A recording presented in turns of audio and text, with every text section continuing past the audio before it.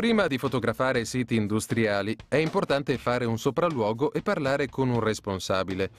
Valutate cosa potete e non potete fare, quali accorgimenti prendere dal punto di vista dell'abbigliamento e quali misure di sicurezza è necessario rispettare.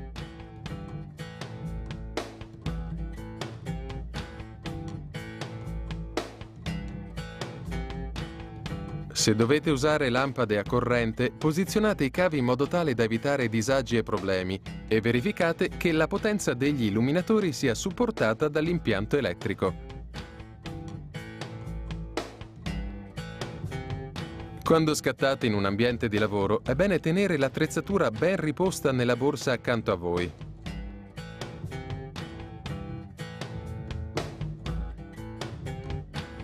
Soprattutto nei reparti di produzione, verificate se e quali rischi esistono per la vostra attrezzatura, ad esempio polvere, liquidi e calore.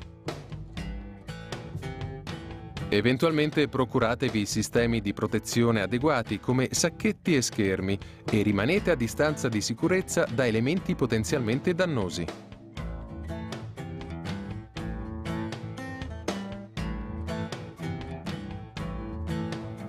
Se avete scelto come soggetto delle persone, è fondamentale che facciate loro firmare una liberatoria.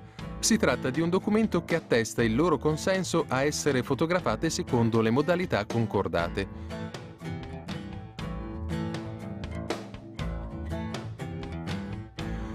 Una liberatoria contiene essenzialmente le vostre generalità, i dati della persona da fotografare, la destinazione delle fotografie, termini e condizioni della pubblicazione, eventuali compensi, riferimenti legislativi.